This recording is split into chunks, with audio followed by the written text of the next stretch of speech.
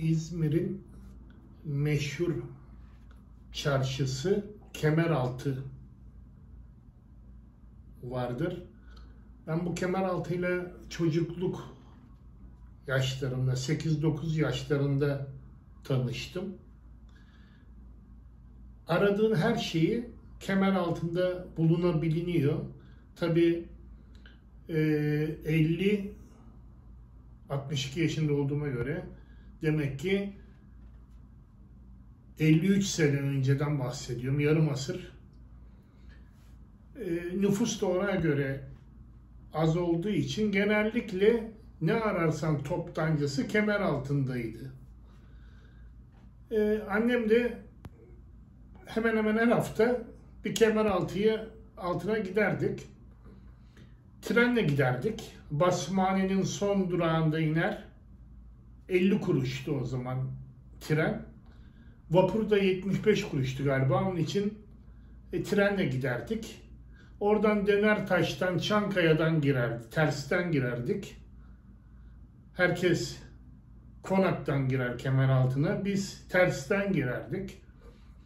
Orada e, sırça yani kırılacak eşya satılan bir çarşı var. İşte mutfak eşyalarını satan birkaç tane orada mağaza var. Mağaza dediğim dükkan yani. Onun arasından geçeriz. Bir ihtiyaç varsa oradan alınır. Açık kolonya alırdı valide. İhtiyaç varsa açık kolonya alınır. Neyse. Kemeraltı benim her zaman her zaman gittiğim yer. Sürekli olarak gittiğim yer. Vapura ben tabii trenle gitmiyorum da tabii annemle olunca çocukuz da 9 yaşında, 10 yaşında, 11 yani 15 yaşına kadar valideyle gidip geliyorduk. Neden? E, aklımız o kadar eriyor yani çocuksun daha. Şimdi valide pazarlık yapar. Ben de yapıyorum yani her gittiğim yerde ben de pazarlık yaparım. Ee, arkadaş 5 dedilerse valide e, hemen ben gideyim der. Yani ayakkabı genellikle işte yılda bir kere bayramdan bayrama iki tane bayram vardı ama bir tane bayramda alınır yani ilk bayramda alınır. ikinci bayramda da o ayakkabı giyilir. Yılda bir kere ayakkabı alınırdı yani bayramdan bayrama. Şimdi fiyatı söyleyince demek ki bütçe ona göre. E, babam fabrika işçisi. Ondan sonra derdi burası bize göre değil çıkalım derdi. İşte oradaki satıcı e, siz ne veriyorsunuz illa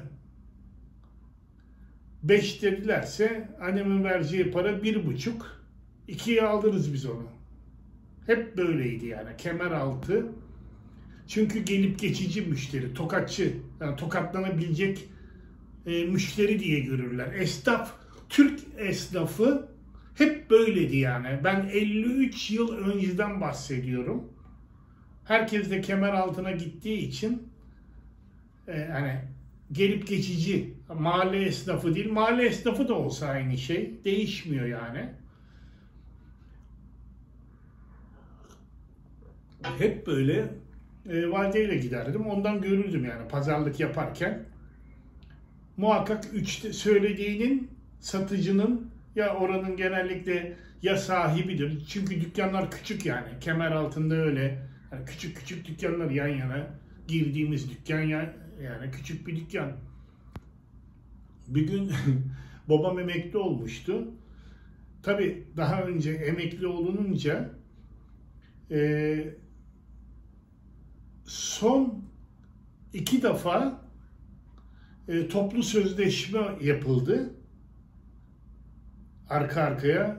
E, o toplu sözlü babam söylerdi. Bu toplu sözleşmenin faydasını gördüm. Emekli olmadan önce faydası oldu demişti. Ondan sonra ondan önce tabii asgari ücret alınıyordu. Emekli olunca toplu hani kesilen paraları veriyorlar toplu olarak. Ee, bize işte anneme manto alacak, bize de kaban alacak işte. Gittik. Kemeraltı'nın yolun bitiminde Mantocular Çarşısı vardır. Çarşı dediğim e, küçük küçük sokak. Dışarıya taştığı için mantoları falan dışarıya koyduğu için onlar iki katlıdır. Küçüktür ama yan yanadır böyle mantocular. Adamın biri babamın koluna girdi enişte diye kendimizi biz dükkanda bulduk. Ne zaman girdik dükkana? Onlar profesyonel. O konuda profesyonel yani. Hemen alıyorlar içeriye.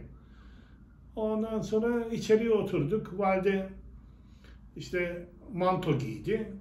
700 lira çekti mantoya. Annem 200 liraya aldı onu. Dedi çıkalım buradan. Hemen annem çıkalım diyor. Burası bize göre değil diyor. Ondan sonra onlar da çekebildiği fiyatı çekiyorlar. Yani yedirirsek diye. Hani keriz muamelesi yaptırıyorlar. Ee, nasıl taşradan İstanbul'a geldiği zaman hemen muhakkak herkes bir kazıklanır. Biz tabii kemer altını biliyoruz. Ben hep çocukluğumdan beri bir şeyler sattım. Mesela mahalleye bir tane yaşlı bir dede gelirdi. Haftada bir kere. E, otururdu. Onun bir tane gaz ocağı gibi bir e, yanan gaz ocaktı galiba. Onun üstünde mısır patlatırdı. Satardı bize. Hoppili hoppili darılar diye satardı. Orada oturur gölgede bir saat geçirir yani haftada bir kere uğrardı. Alan alır, almayan almaz. Ben onu gördüm. Mısır nasıl patlatır? Tel. Onun böyle yandan kapakçık var. Oradan mısırı koyuyorsun. Mısır sağa sola kav, e, dağılmıyor. Anneme dedim böyle böyle. Gittik. Kemer altında bulduk o, o mısır patlatma şeyini. Ben kafaya estiğim zaman öyle her zaman her gün satılan bir şey değil de mahallenin mahalleye e, odun kömür geldiği zaman biz çocuklar el birliğiyle taşıyorduk o kömürleri. Odunları taşıyorduk. Yani oyun gibi geliyor bize. Ne olacak?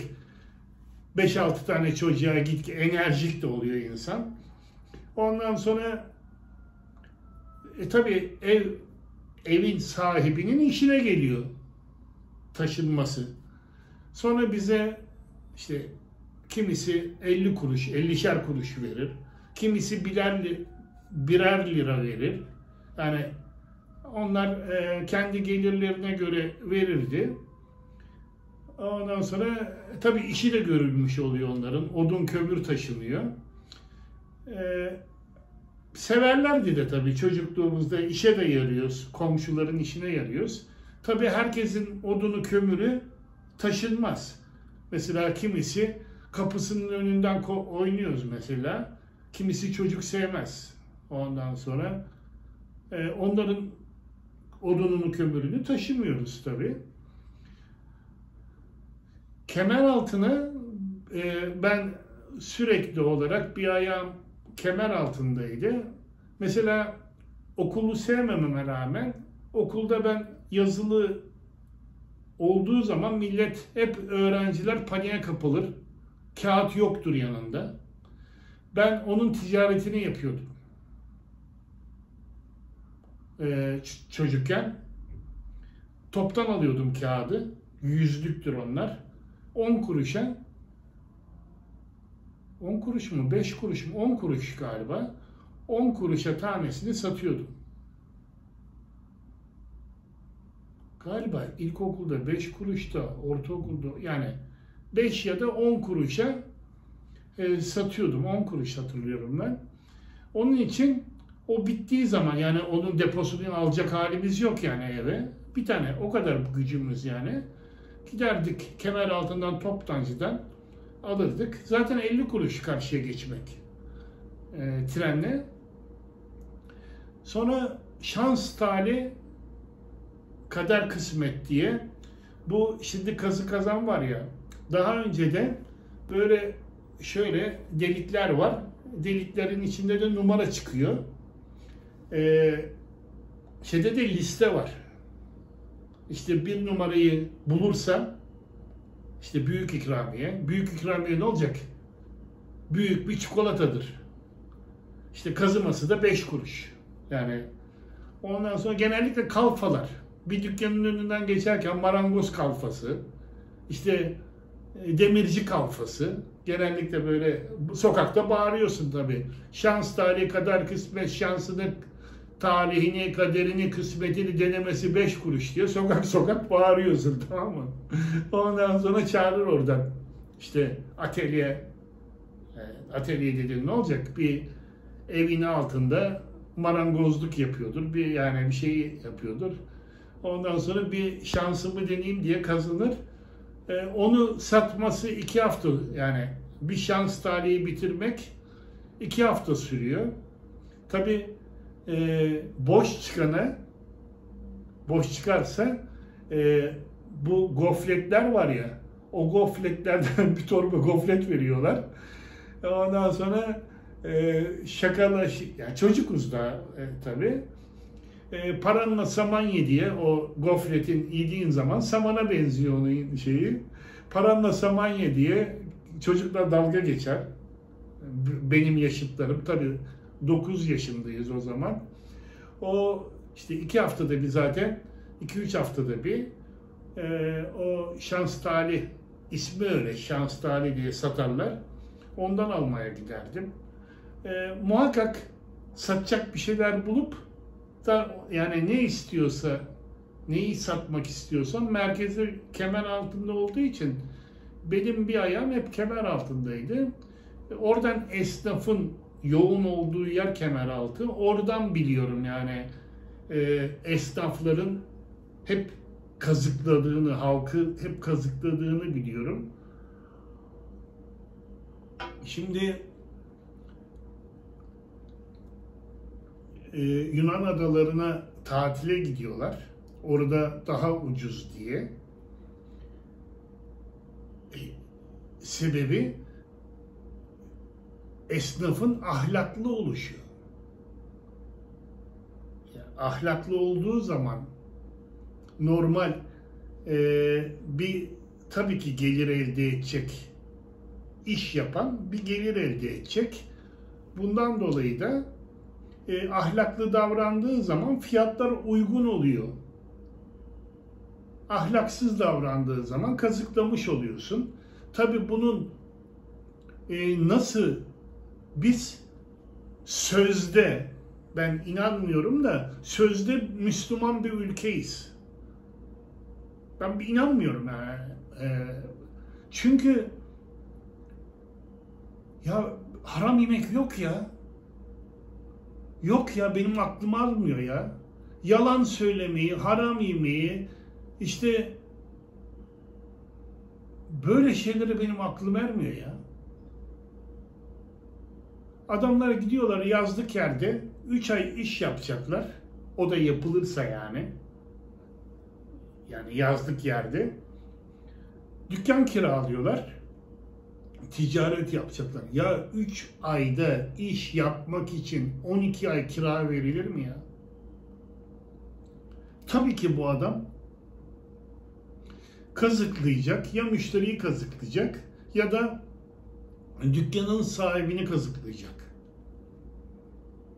Yani 3 ay akıl kârı değil. 3 aylığına ticaret yapmak. Onun için kazıklayacak yani bir türlü kazıklayacak. Daha önce Avrupalı turist gelirdi. Her taraf, Türkiye'nin her tarafına yayılırlardı.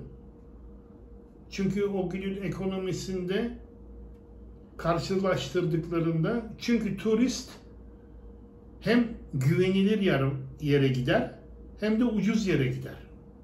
Sürekli gider ama. Yani e, durmaz. Onun arkası gelir. Onun için Türkiye tercih edilen bir ülkeydi. hesaplıydı. Ben birkaç kere yazlık yerlerde turisti kazıklarken müdahale ettim. Tabii o zaman gençtim. Sesini çıkarmadı esnaf. Neden yapıyorsun böyle diye. Turist için önemli değil.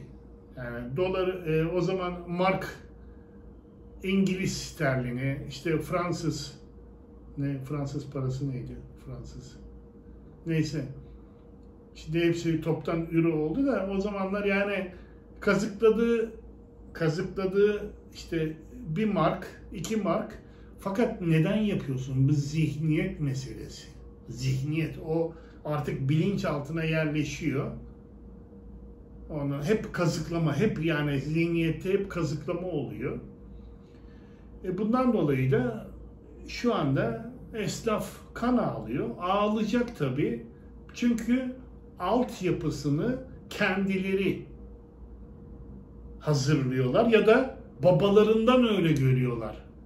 Babalarından ne görüyorsa onu yapıyor. Ee, yani daha da sıkıntılı günler yaşanacak bu ahlaksızlık yüzünden toplumun genelindeki ahlaksızlık bu meclise de yansıyor. Mecliste işte savaş alanı gibi meclis kavga ediyorlar, küfür ediyorlar birbirlerine. Meclisteki kişiler kim? Bizim aramızdan aramızdan seçilen insanlar gidiyorlar sözde sözde millet vekili oluyorlar. Yani milletin vekili bizi temsil edecek insanlar mecliste kavga edince birbirlerine yumruk atınca birbirlerine küfür edince hakaret edince bunların iz düşümü toplumun içine yayılıyor.